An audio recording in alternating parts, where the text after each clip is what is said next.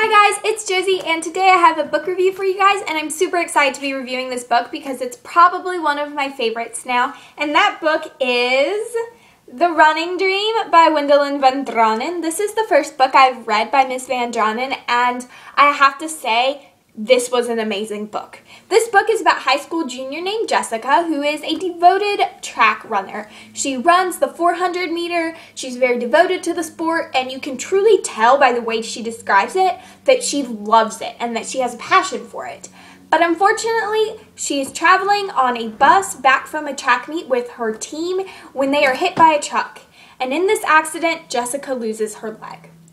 And this story tell or this book tells the story of Jessica learning to regain the dream of running and getting back on track, so to speak, and learning to run again. And it was truly beautiful the way the author described this book.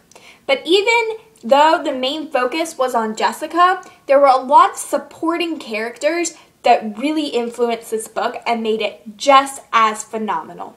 There was a love a little bit of love in this book. Um, there was a romance in it, but the romance was not overpowering. It was subtle and really well done, really well done, and it made me not feel like this was a romance book. It made me feel like this was a book about a journey and an inspirational book. So I felt that the romance was well done in this book.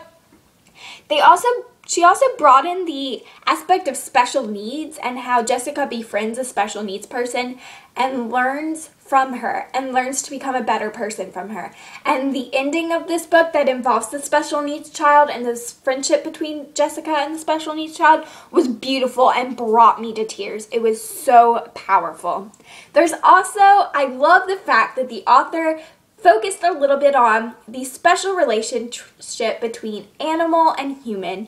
Jessica has a dog named Sherlock and they are best friends and you can really tell that the dog helps Jessica get through this process of losing her leg and relearning how to live her life and I love that. I felt that that was so realistic and that is so true to real life. The parents were also involved in this book and I felt that it was well done that the parents were not overbearing but yet they were there enough to know they were in the book enough that we knew that they were there. And so that was well done, I feel. There was a big focus on running in this book, but if you shy away from this book just because it's about a sport, she really described this book like it was an art. It was an art, Jessica, and it was so well done. The way that I did not feel like I was reading about a sport where you get all sweaty and gross. I was reading about a a, a sport that had so much meaning behind it to Jessica. It was amazing. So don't shy away from it just because it's a sports book. The writing in this book was phenomenal. Probably one of the best books that I have read where the writing has been so inspirational but yet fictitious. It was really good. The two things that did bother me about this book is there were no flashbacks to the accident that took Jessica's leg and I felt that that was kind of disappointing because that played such a big role in why we were reading about her. She lost her leg, so I wanted to read a little bit more about her and that.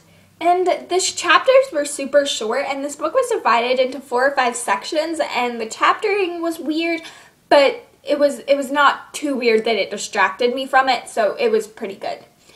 All in all, I gave this book five out of five stars phenomenal book. I can't say that enough. It was absolutely amazing. And I would recommend it to anyone who wants to read a strong story about friendship, dedication, and be inspired while all engrossing yourself into this story. So anyway, that's my review of The Running Dream by Wendelin van Draanen.